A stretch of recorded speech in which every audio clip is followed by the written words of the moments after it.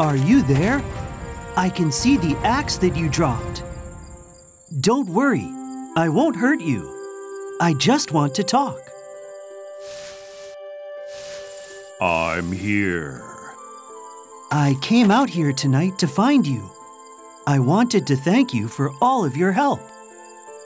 We couldn't have made it through the winter without the wood you've chopped for us.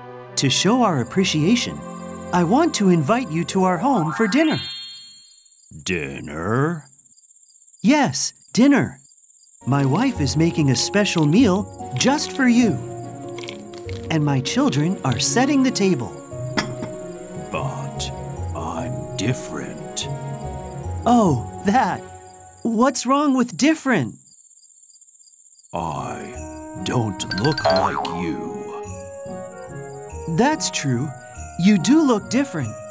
But that doesn't mean we can't be friends. Really? Yes, you are kind and helpful, just like the rest of us. And your strength is a unique characteristic that makes you valuable. Okay. I'll go. Great! Everyone is excited to finally meet you.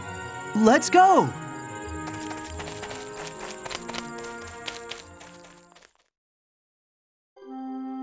We are so glad you agreed to join us. We would like to get to know you better. Know me? Why? I'm not like you. You know, we all have things that make us different from one another. For example, my son uses a small crutch to help him walk. And my wife helps me sell our vegetables because she is better at math than me. I think I understand. Good, because the most important thing to understand is that we are all special and valuable to the people around us.